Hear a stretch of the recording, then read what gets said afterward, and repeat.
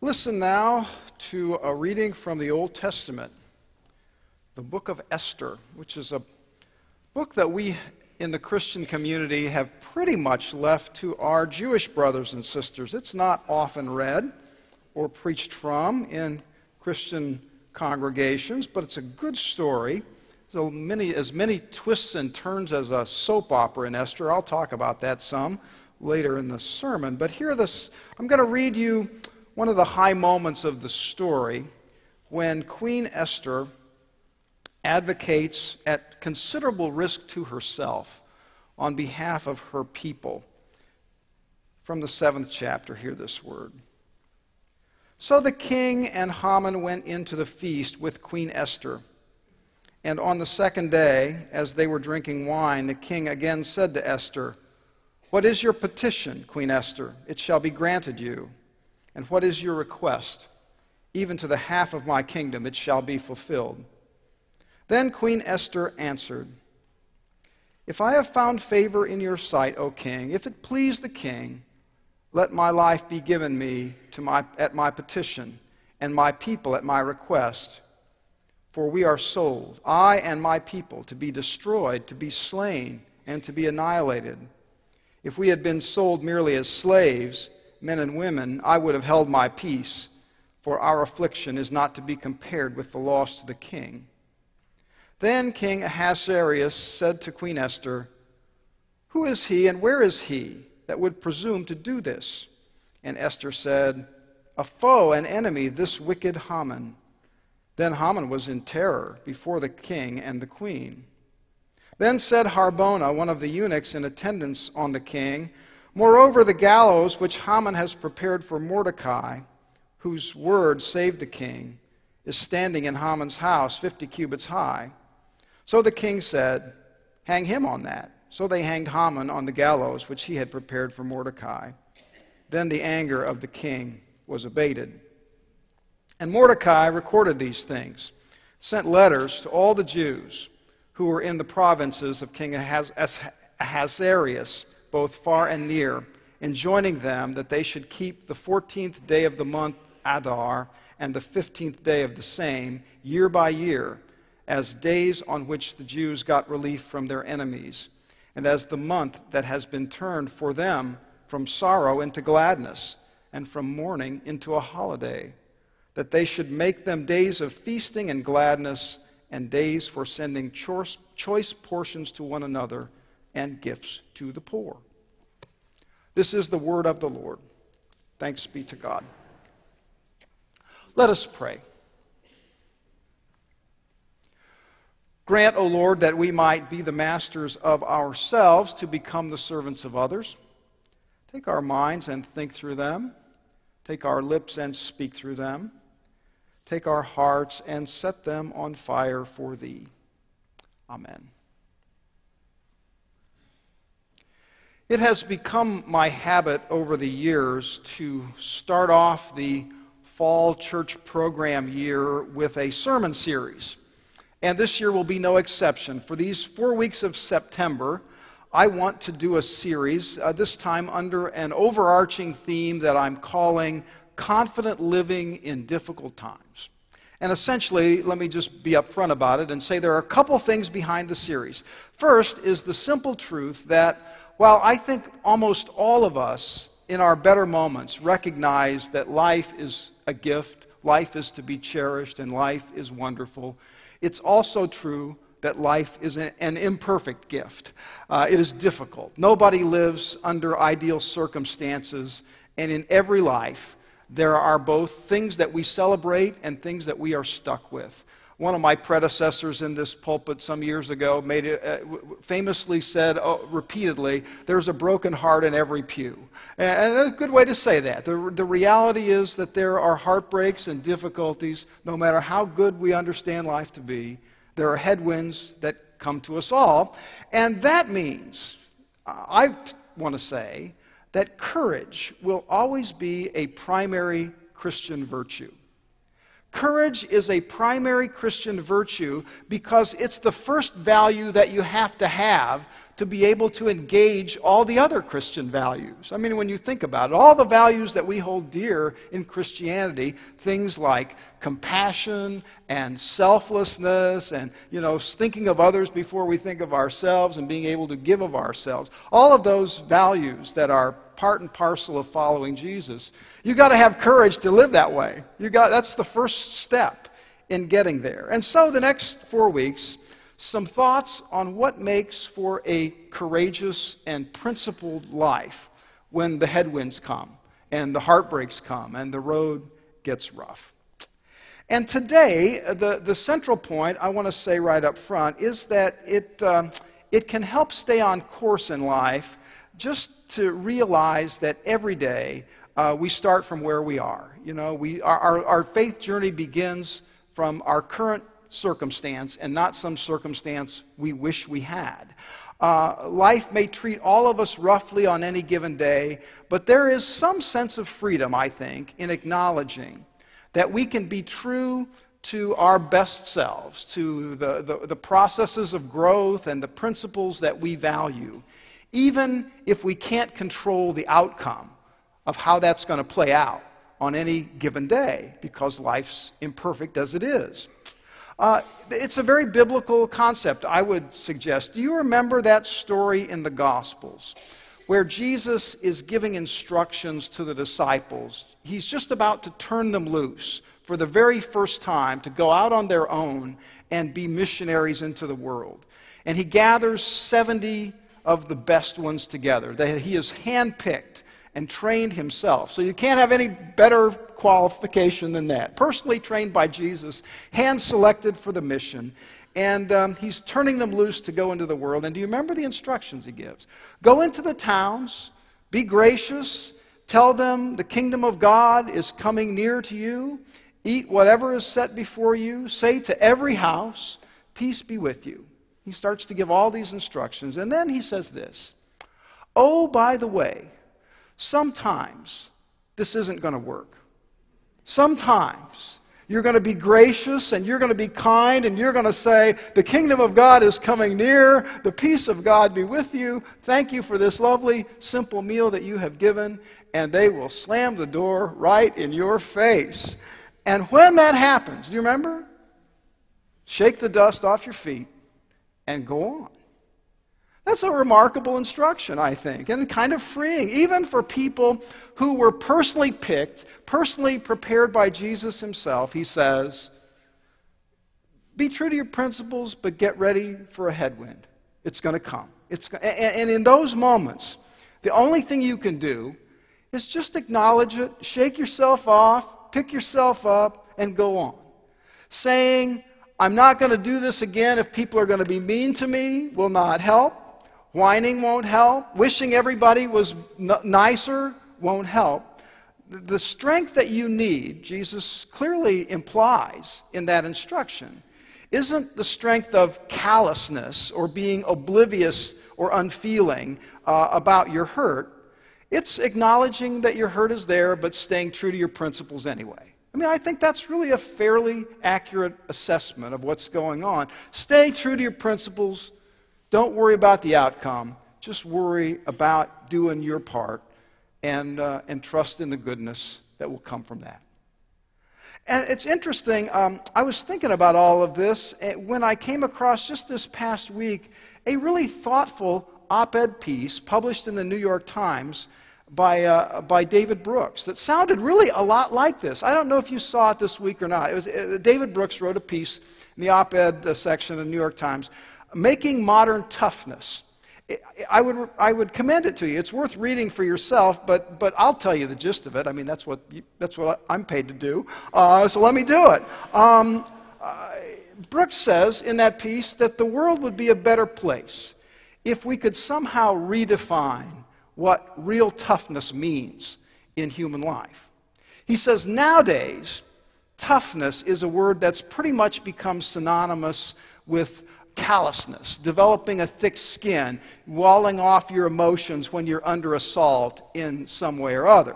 Tough people, Brooks says, are people who have developed an emotional shell and, and, and they naturally see things first and foremost from a kind of a defensive posture. What's the next threat that might be heading my way, and how do I get ready for that? Toughness is equated, Brooks says, with callousness. But he goes on to ask a good question Wouldn't the world be a better place if we began to think of toughness in a different way? What if being tough was deeper than just having an emotional callus or an armor that surrounded you so that nothing hurt you? Here's how he says it uh, The people we admire for being resilient are not hard or callous.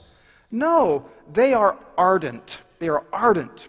They are tough and determined because they have a fervent commitment to some cause, some ideal, some relationship, and that higher yearning enables them to withstand setbacks and pain and betrayal.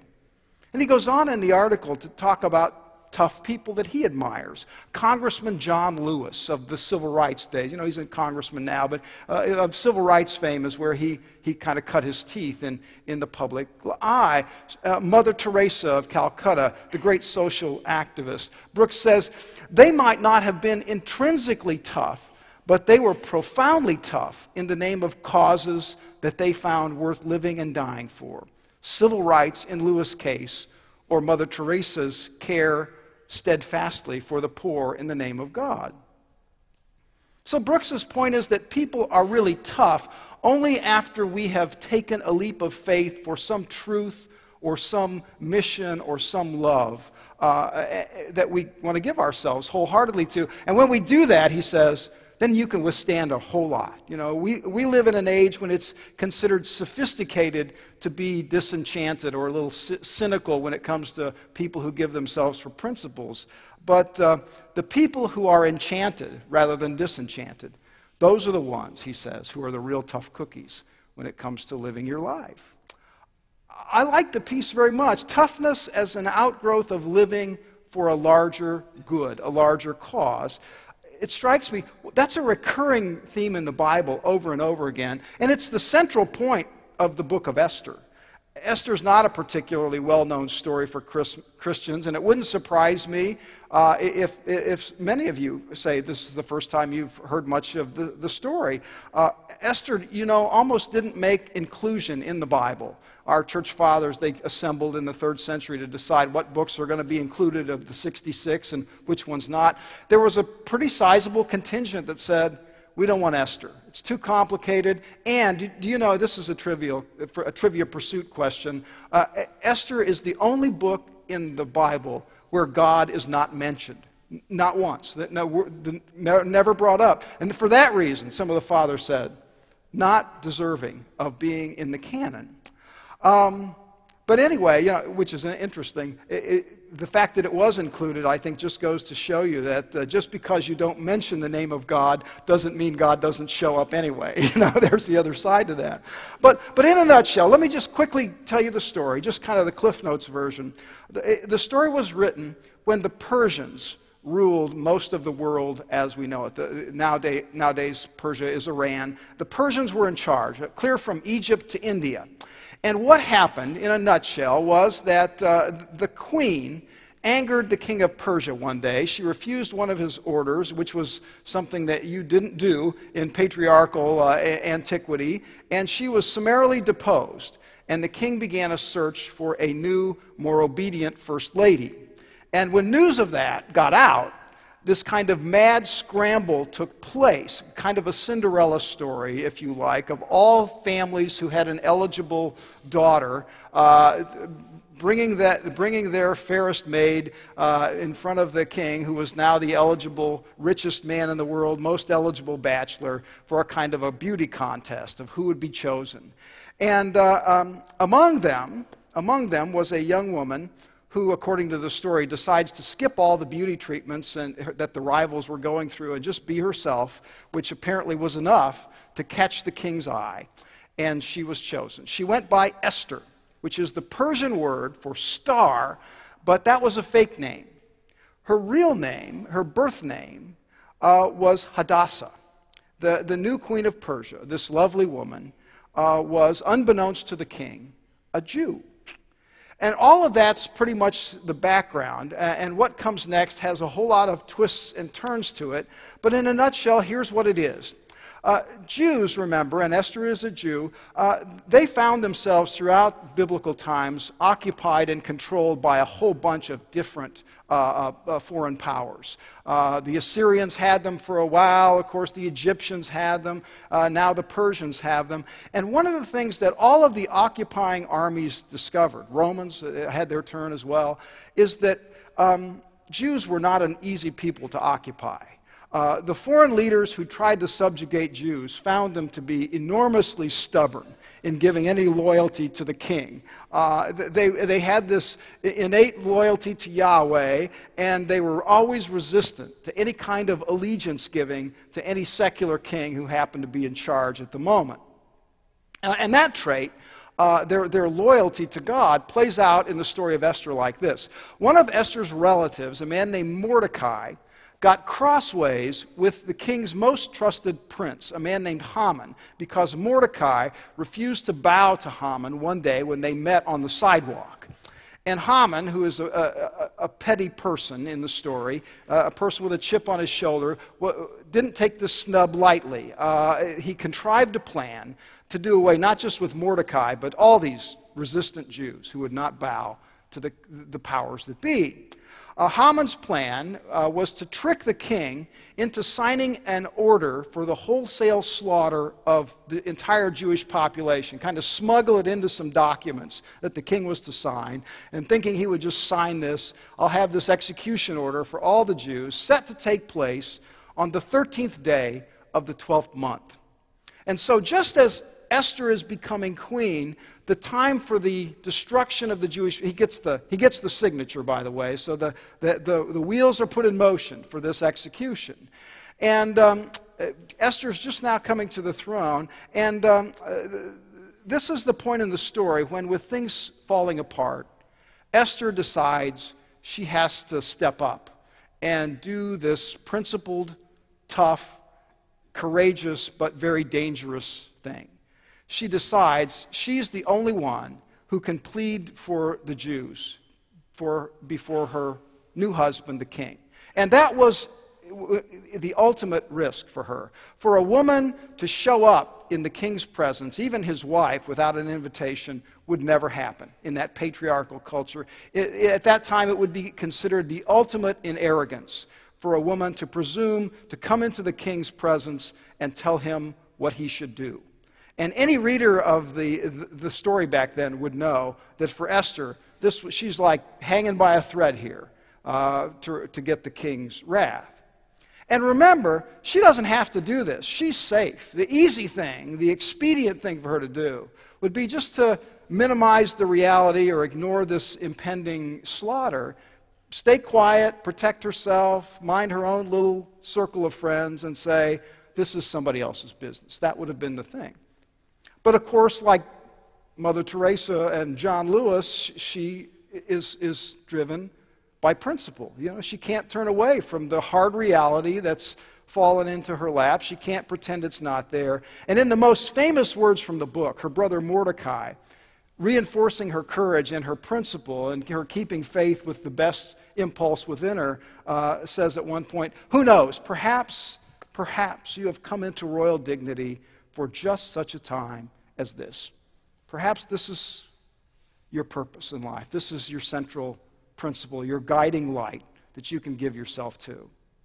Well, she follows through, and the king hears her out, and uh, much to everyone's surprise, not only is he not mad, but uh, uh, he, he, stays up all night after she, her first approach and wonders what to do next. The story is he has insomnia, and while he's up late killing time, he reviews the chronicles of the court, and he comes across an entry in the daily palace record that Mordecai, Esther's family member, has actually been a very loyal subject. He's gone out of his way at one point to foil a palace coup uh, the king didn't even know about, and he was never rewarded for his loyalty. And, and the text that I read you this morning comes in right at this place the details of the kind of turning of the tables as Esther's brother Mordecai is now elevated, and Haman, the, the one who wanted to execute all the innocents in this kind of underhanded ploy, he is brought low, he's exposed And uh, so, in this bitter irony, uh, Haman is hanged on the very gallows that he had prepared uh, to, to kill Mordecai on. And to this day, to this day, the Jewish tradition celebrates the 12th month, the 13th day, as a feast, the Feast of Purim. Uh, one woman's courageous and principled stand on behalf of others who are vulnerable at great risk to herself. That's the, that's the celebration of that. We, we celebrate people who stand on principle, even if it's potentially very costly to them, for the sake of others. And that's the central theme every year. Uh, and the book of Esther makes that point. Whether God's name is mentioned out loud or not, and in Esther's case, it was not mentioned, but mentioned or not, God is behind the scenes at work when principle and when our best impulses are followed. God carves a way forward when it looks like there will be no way, using often the courage of one person to save many. And, and the capacity to follow Esther's example and to live with principle like that, Brooks says that's the key to toughness in, in the headwinds of your life. I like that. And, and, and it's, it's not callousness so much as it is faithfulness, isn't it? I mean, th- that capacity that's somewhere inside all of us. And the other thing that I would say, uh, Brooks doesn't say this, but I would say it, is that uh, one of the great uh, pieces of good news in this world is that even the most humble people can stand for the greatest of principles. Even the simplest, most humble life can come to stand for the greatest of things uh, and have the noblest of uh, values express them. Uh, I saw in the Associated Press news just this past week the story of a woman named Freya David. I don't know if you saw this or not. Freya David, and Freya is the perfect first name for this woman. Uh, she lives in Needham, Massachusetts. Uh, Freya is her perfect name because for the last 32 years she has worked at the Fry Station for a McDonald's, sta- a McDonald's restaurant in Needham, Massachusetts. 32 years at the Fry Station. And she, Freya, has been a loyal, loyal worker at that restaurant. And among the circumstances of her life is the fact that she has Down syndrome. Uh, she was given a chance to go to work back in the 1980s, and uh, despite those limitations uh, from her condition, uh, she never missed a shift from 1984 to this week. Never once missed a shift. Over the years, she came to know all of the regulars uh, by name, and she has been known spontaneously to break out in a dance at the fryer when the timer rings and those fries are ready to dump. Anyway, she retired this week in Needham, and according to the Associated Press, 160 of her favorite customers showed up. Uh, she was given a silver necklace that they had custom made with a little McDonald's French fry box uh, as the pendant and they presented her with a proclamation of appreciation from the Massachusetts state legislature, both houses of the uh, state legislature. Uh, the, the local uh, representative who presented it said it was one of the few things they had unanimous consent on the entire year. But this notice of appreciation for her presence and her supportive presence in the community, there she is. Uh, and in the AP interview, what I love most is that she said this Freya's comment. I just love doing this work with these people. I know when I just pay attention to what I can do rather than worry about what I can't do, life is fun.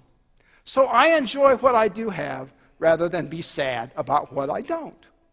Isn't that great? Isn't that great?